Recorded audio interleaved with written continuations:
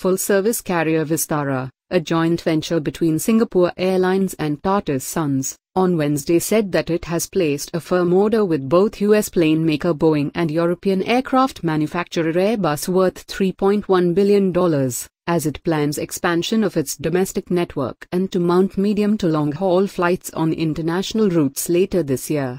The order is a mix of aircraft that the airline will own or the firm orders that it will take on its books, and the number that it will be borrowing on operating lease from leasing firms.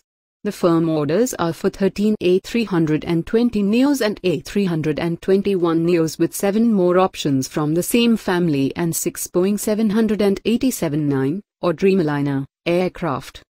It will be leasing 37 of the Airbus single-aisle aircraft taking the total number of Airbus aircraft it is likely to add to its fleet to 50. It also signed a letter of intent with Boeing for purchase rights of four more 787s, not specifying the variant though.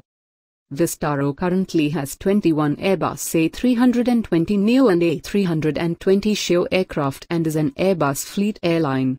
But this latest order where it adds a new aircraft type to its fleet, the 787-9, Dreamliner, for flying on longer international routes, we'll see this change towards a kind of a mixed fleet airline, a model that its joint venture partner, Singapore-headquartered Singapore Airlines, also follows.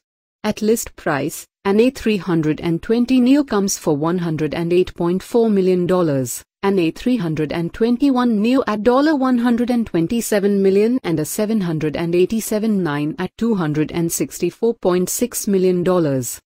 We are delighted to further deepen our relationship with Airbus and to join hands with Boeing to strengthen our modern and fuel-efficient fleet that will help achieve our thought-through ambition, said Leslie THNG, CEO, Vistara.